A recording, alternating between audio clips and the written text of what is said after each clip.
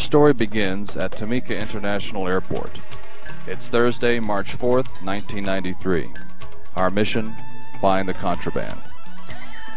The passengers arrived by bus from Tembagapura. It's 0630 hours. Pawson Private Investigations have been on the job since 0500 hours that morning, and these 13 bags you see there have been identified as containing possible contraband. The unsuspecting passengers wait patiently for check-in.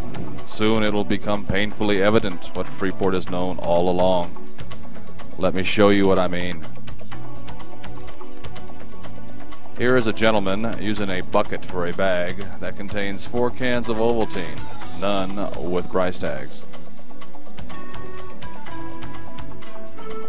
Under the watchful eye of security, he begins to disassemble the bag. Or should I say bucket.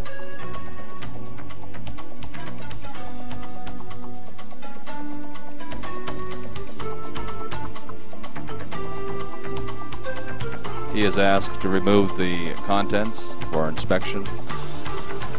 And in doing so, there's the third one. We find four cans. None with price tags. I repeat, none with price tags. Another gentleman is ushered in for inspection. And there goes the coffee mate. The foodstuffs were not were not confiscated from this individual, however.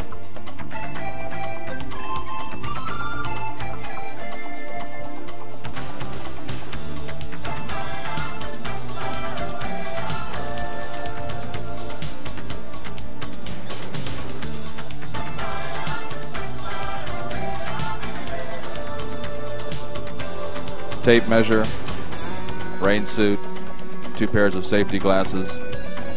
That all came out of the gentleman's bag. Soon we just lined it all up.